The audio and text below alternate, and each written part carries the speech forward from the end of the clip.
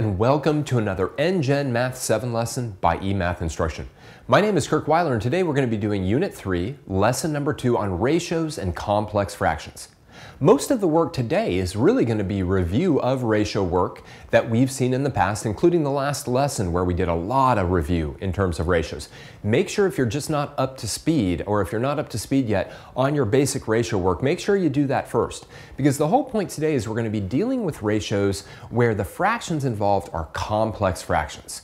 We saw complex fractions for the first time earlier this year, and as a little review, all a complex fraction is, is a fraction whose numerator or denominator, or sometimes, actually many times, both, are fractions themselves. So no fractions like 2 fifths, but maybe a fraction where it'd be like 1 half in the top and 3 fourths in the bottom, right? So, you know, we're going to be looking at ratio work where the numerators and denominators are a bit uglier. All right, let's get right into it right now with the first exercise. Here we go. Ratios involving fractions, exercise number one.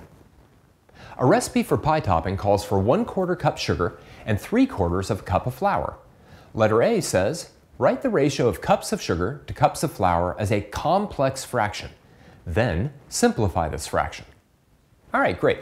Well, remember, whenever we're looking at a ratio, we always want to make sure we know what's the numerator, what's the denominator. Here it's the ratio of cups of sugar, that's numerator, to, that's the fraction bar, cups of flour. All right. Luckily, it's kind of written in the right order for us. So as we set this up, what we're going to be doing is we're just going to have one quarter cup of sugar divided by three quarters cup flour. All right. Now, all I want to do at this point is simplify this. Now, keep in mind, right, fractions are always about division, right? So I literally have, in this case, 1 quarter divided by 3 quarters. In order to simplify a complex fraction, what we then do is we use the fraction division algorithm, which says to keep the first fraction the same, right? Change the division into multiplication and multiply by the reciprocal of the second fraction. All right. Now, one of the great things about this particular case is that we've got some nice cross cancellation going on between the fours, and then we just end up with one third. Now, letter B. What is the ratio of cups of sugar to cups of flour in simplest form? Well, we essentially have it right there, but what we could now say is we could say that it's one cup sugar to three cups flour. That's one way to state it in its simplest form. You could also say one cup sugar to three cups flour. That would also be a fine way to do it.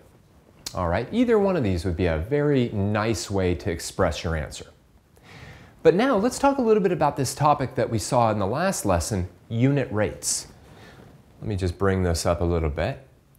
Letter C asks us the following. How can we interpret letter B in terms of unit rates? State a rate for each of the following. Cups of sugar per one cup of flour and cups of flour per one cup of sugar. All right. Well, quite frankly, one of these two is exceptionally easy, and the, the other one is a little bit more complicated to think about. What I'd like you to do is pause the video now and think about both of these unit rates.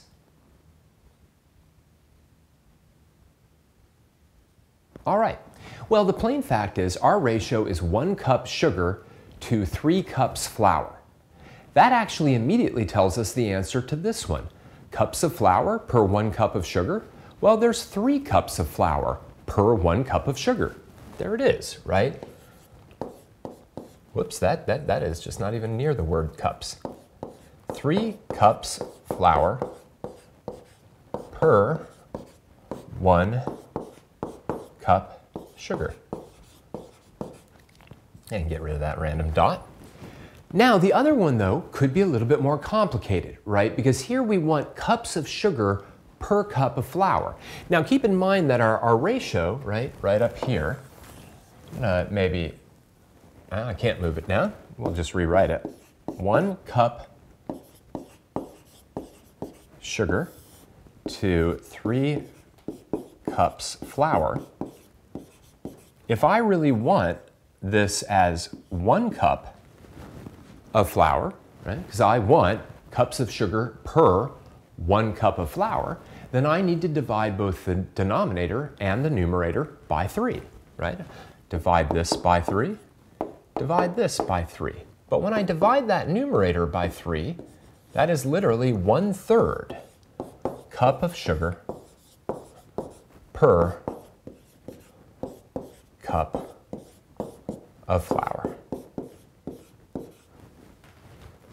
Right? And it should make a lot of sense, right? I mean, literally, if I thought about three cups of flour per one cup of sugar, if I divided this by three and that by three, then every cup of flour, right, is gonna have one third of a cup of sugar. One third cup sugar per cup of flour.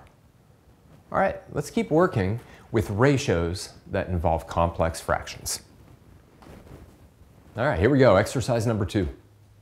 A bucket is filling with maple tree sap at a rate of 3 fifths of a bucket in one quarter hour. Determine the rate of bucket filling per hour. Express your answer as a mixed number.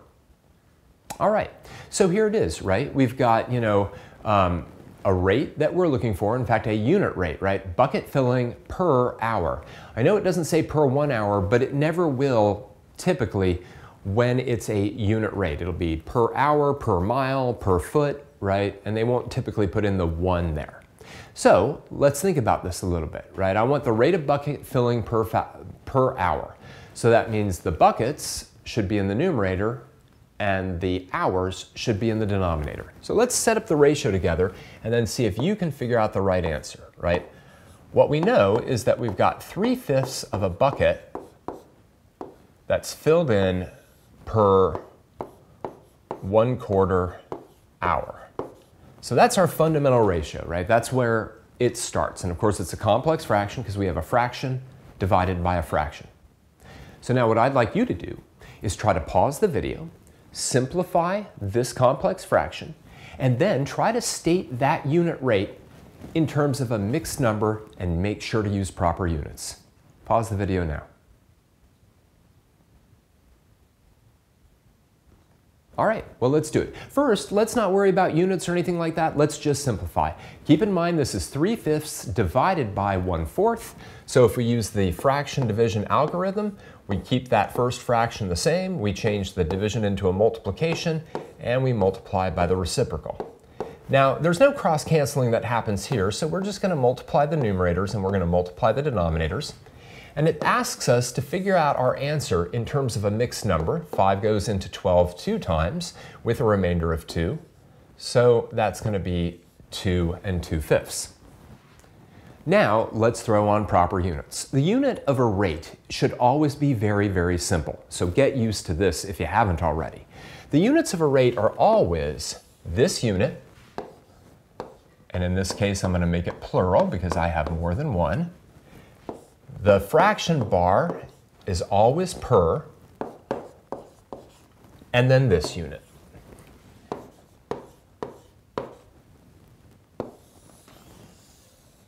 right? And the beautiful thing about the units is that they inform us something, right? All by itself, 2 and 2 fifths is meaningless. But once I say 2 and 2 fifths buckets per hour, now I know that for every hour these buckets are filling, 2 and 2 fifths of a bucket will fill up, right? And then if I say, well, all right, we're going to be filling buckets for 8 hours, then I could use this answer to come up with some other thing like how many buckets got filled up with tree sap. All right, let's keep going. Units are so very important. Exercise number three. Joe's Pizzeria sells three and three eighths pizzas in one and one quarter hours. Letter A, find the rate that pizzas are being sold per hour. First, convert the mixed numbers to fractions, then set up the ratio as a complex fraction. All right, we should all feel very, very comfortable with how to convert right, mixed numbers into improper fractions because that's what we really have got to have, right? Um, then we can set up that ratio, simplify it, etc. I'd like to, you to pause the video right now and see how far you can get through letter A.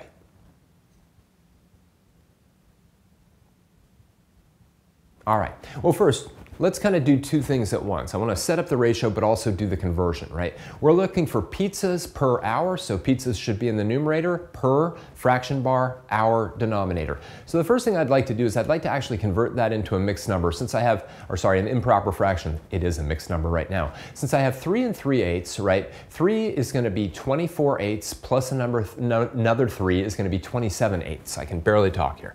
So we've got 27 eighths pizzas. Get that pointer out of there. For every, now let me convert one and one quarter, that's gonna be five quarters hours, right?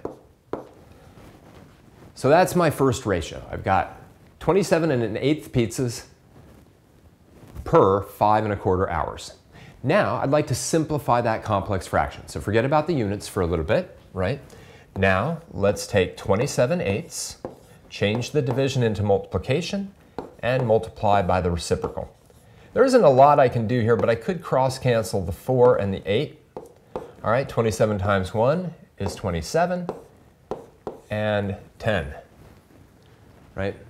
There is no sort of um, simplification I can do with this in terms of like reducing the fraction at all. Um, and this isn't the greatest way to leave an answer. So let's do this. Let's write it back um, kind of in its mixed number form and also think about the decimal we might have. If we wrote it as a mixed number, of course, 10 would go into 27 two times, right? And then we would be left with a remainder of 7, so it'd be 2 and 7 tenths. Now, if you prefer decimals to fractions, that's great because I can change 2 and 7 tenths into a decimal very easily given that tenths are the basis of the decimal system. So I think I'm gonna, I think I'm gonna go decimal. I like decimals in this case. 2.7. Now, 2.7 what? Units.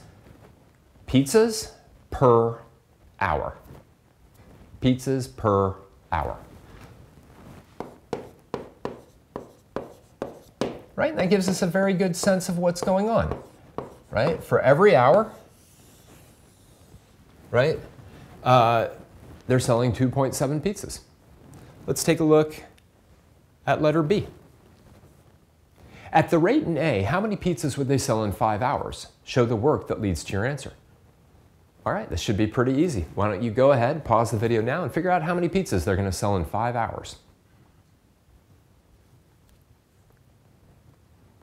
Again, this is the very definition of multiplication, right? We know every hour that goes by, they're going to sell 2.7 pizzas, all right?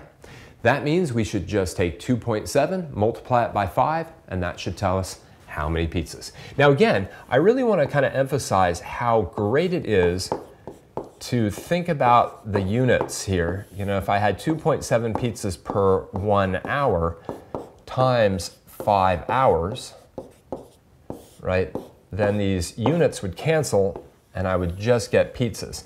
Now, in actually, in order to do that multiplication, I've either got to have a calculator handy, or since I'm going to get a little bit of a workout on my, um, my decimal multiplication today, I'm going to find that 13.5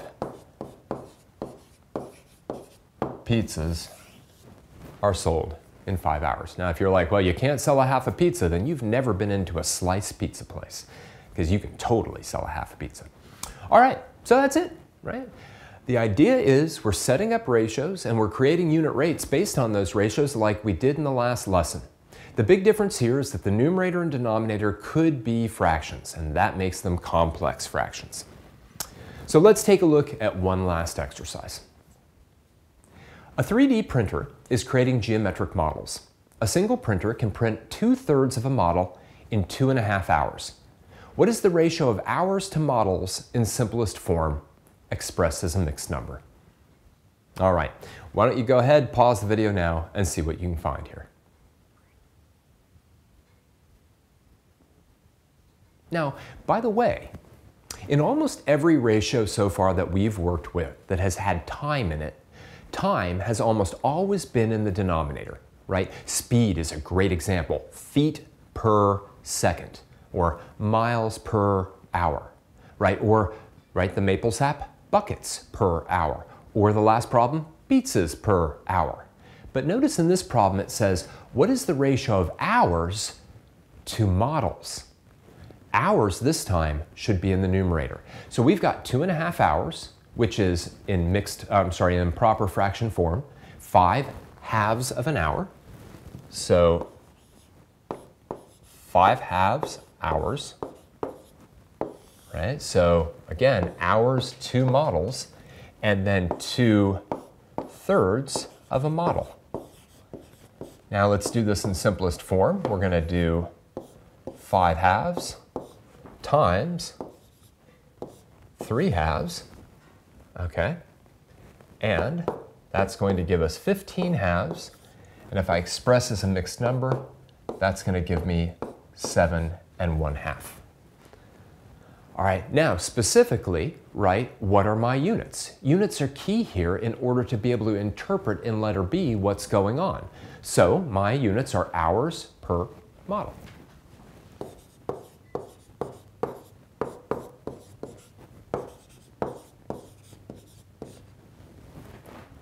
All right, and now letter B should be a piece of cake. Letter B. Give an interpretation of the answer you found in A. What does it tell you about the model printing process? Awesome. Pause the video now and see if you can give an answer to letter B.